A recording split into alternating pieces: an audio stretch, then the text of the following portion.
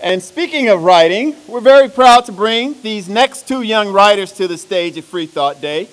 Let's welcome David back to introduce these good people. David. All right, good afternoon, everybody. We are expecting two writers, but we do have one. The other one, we're not sure where she is, but that's okay. If she gets here. I know she was driving in from Chico, so maybe she's running a little bit late. We'll put her back into the program a little bit later. But um, a couple months, no, about a year ago, about a year ago, almost right after Freethought Day of last year, our committee decided that we wanted to try and hold our own scholarship contest to encourage young writers uh, to talk about whatever the theme might be for the coming year. And I'm proud to say that we did that. I'm, uh, I wish we could have offered more. Uh, we made it a $250 scholarship thanks to the donations of our community. Next year, maybe we can double that or add more scholarships or who knows what. And so that's part of what your donation today is going to support. I want to thank uh, Angela Garvey and Scholarship Impact uh, for helping us facilitate the scholarship. Uh, we decided on a theme and a prompt and the prompt, of course, was based on our theme that you're hearing today about science and fake news and social media and all that good stuff. And I'm really thrilled to say that when we introduced that scholarship opportunity, we had 20 applicants, all with amazing essays. And it was tough for us to decide the winner, but of course we did.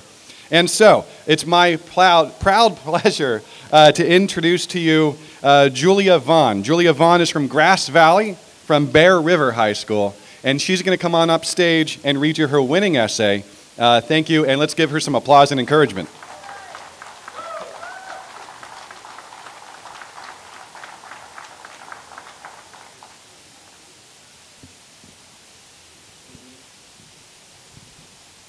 Can you hear me all right? Okay.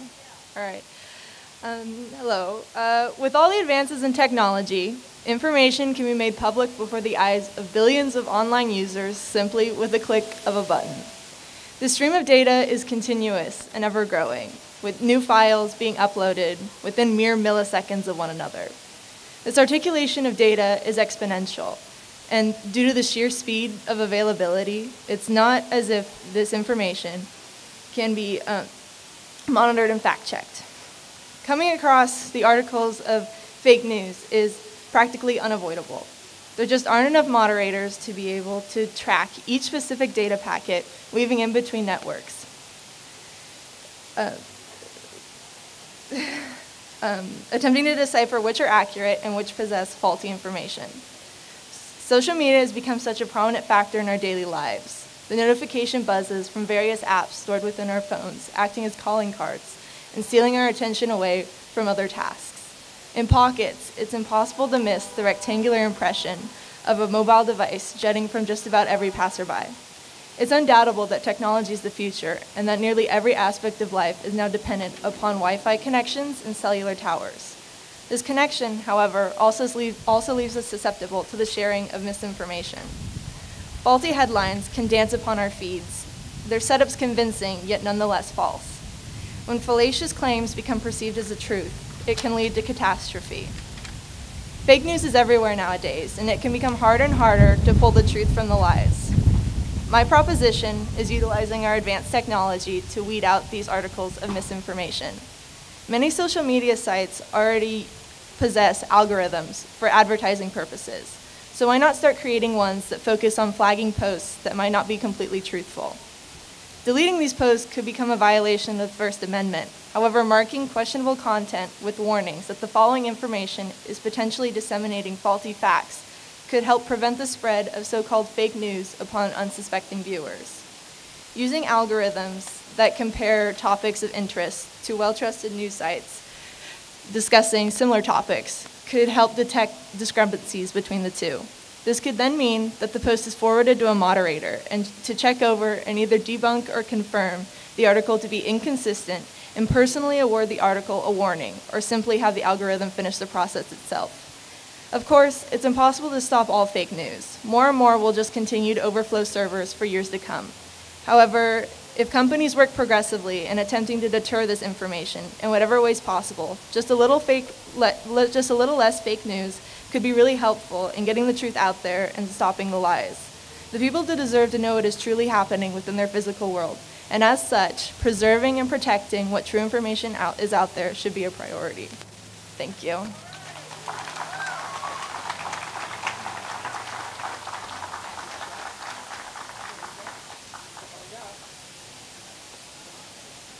Yeah, and so behalf of uh, the California Freethought Day, uh, thank you so much for your winning essay. And here is a little bit to go towards your uh, college education. Thank you so much.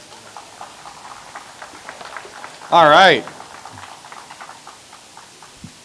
Occasionally I make mistakes. Apparently Sarah was here in the audience. They just never told me. And so, um, so I am happy to say we're back on program, and our second essayist is about to come up. Uh, now, this is a really interesting situation. First, I want to ask is Robert Nickelson here in the audience? Robert, are you here? You are here? Now, this gentleman that's standing up and raising his hand, I want to give you, sir, um, some proper credit. Uh, you may have picked up on this story on Hemant's blog, The Friendly Atheist, when he tried to offer a substantial scholarship for a similar idea uh, to his local high school, and uh, found out that no one took him up. No one even how much was it originally? Like $3,000 or $2,500? He offered a $2,500 scholarship for an essay about religious uh, or, or, being an atheist or something like that. No one responded, and he inquired why. Why is there at least one person who's going to try and get this money? Turns out that the school didn't want to tell anyone about the scholarship. So he found out. Oh, he also like upped it to like another four to, to four thousand dollars and, uh, and then made some phone calls and got angry, and I don't blame you. And uh, eventually they did offer it. And because of that amazingly generous uh, opportunity, uh, Sarah Hagy had uh, entered in and wrote an amazing, brilliant essay. Uh, and so while I wish we could have given more money out, I just got to thank you for, for contributing so much. let's give Mr. Robert Nickelson a, a, a round of applause uh, for providing a $4,000 scholarship to Sarah from uh, Winters High School. Uh, she's going to Solano Community College and she's going to major in sociology. To read her essay, let's welcome Sarah Hagy.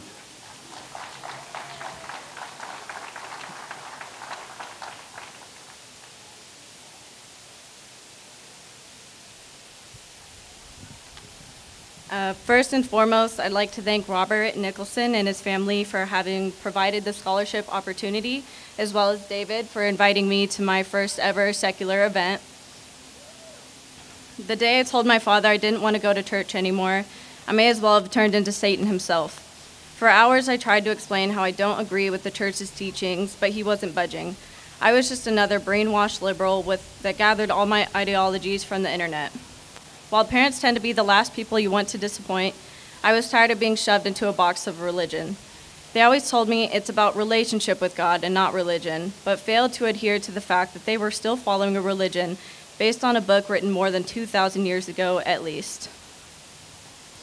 My parents were not always churchgoers. Eight years ago, my father began to attend with my older brother, eventually letting my little brother and I tag along, and soon enough, my mother was convinced too. In the beginning, it was pleasant. Everybody hugged me, spoke positively, occasionally provided free donuts for the youth, and so on. However, I was far too young to actually understand religion. I just figured, these people are nice and I like this. As I grew older into my teenage years, I admit I became skeptical. Acknowledging the fact that I'm not speaking on behalf of the of all churches across the nation, I'd like to talk about my personal church and the hypocrisies that were all too common. For a religion that claimed to love everybody and treat everybody equally, there were more cliques than a high school drama movie. Trying to make friends was hard. Girls would stare at me like I was dirty, unworthy of their time, and seemed quite comfortable with the friends that they had, so I didn't bother to make approaches anymore. There was a silent hierarchy the friends and family of pastors at the top, young, in, young adult interns in the middle, and everybody else at the bottom. Understanding where I fit in, I began to develop this kind of resentment for feeling that I was constantly alienated. For reasons unknown, I found that there's a huge mental health stigma in the church. When I came to my mother with such problems, at about age 15, the answer seemed to be that I needed more Jesus. And for a short time, I believed that. I believed that my chemical imbalance was just me not being a good Christian and that the enemy was working his ways. But with the Jesus, Jesus can heal you mentality, wouldn't that mean Jesus was the one who gave me the illness in the first place? Anyways, when I wanted to begin medication treatment, my father was clearly uncomfortable with the idea. Personally, I was tired of trying to tough it out, so I was willing to try just about anything. He eventually came into it, understanding I had to do what I thought was best for me, but still, every so often, my parents would tell me to just give it all to God. Ultimately, I found there was a superficial mantra of positivity in church that I couldn't get over. Having a God that can take away depression and lack of motivation at the snap of his fingers sounds awesome, but there's also Prozac and Zoloft that can do the job. In the church world, there didn't seem to be much talk about the LGBT community. Their beliefs were typically only said out loud when you spoke to them personally. And whenever marriage was brought up during a sermon, you could hear the vindication in their voice when the pastor said, between a man and a woman. And the masses so close mindedly repeated, Amen. Up until my sophomore year of high school, I only started to begin to understand the gender spectrum, the difficulties that the LGBT community faces, and how unjust it was overall. Not only was I appalled, but after putting much thought into my own sexuality, I could no longer be complacent with how the church treated and judged these individuals. I hit a rather awkward time in my life about a year ago where I began to admire another young woman. It didn't feel wrong, but I felt incredibly lost concerning I, I knew nothing about heterosexual relationships. Nothing came of it, but I pondered for a long time about why the church was against homosexual relationships. Was I not allowed to be happy with whomever? Are straight men the only people that can make me feel love and happiness? It seemed a little misogynistic to me.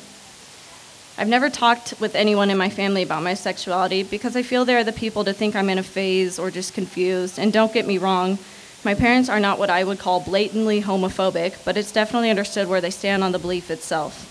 There's so many beautiful people in the world, and I'm strictly limited to men. Lame.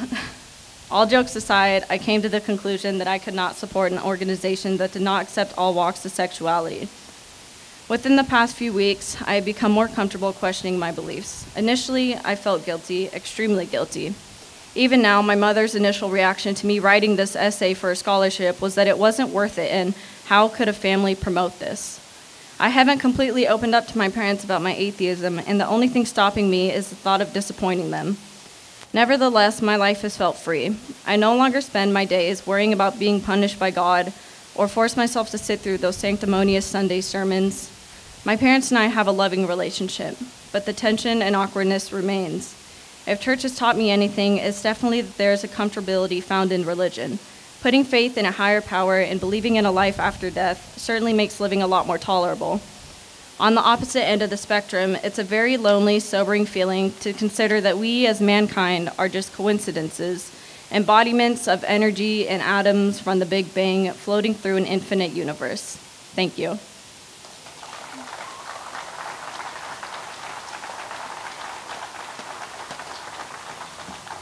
Julia and Sarah, that was beautiful. Both of you, thank you so much. And Robert, again, thank you for being so generous. All right. And oh, and Scholarship Impact and uh, Angela Garvey, thank you so much for facilitating that.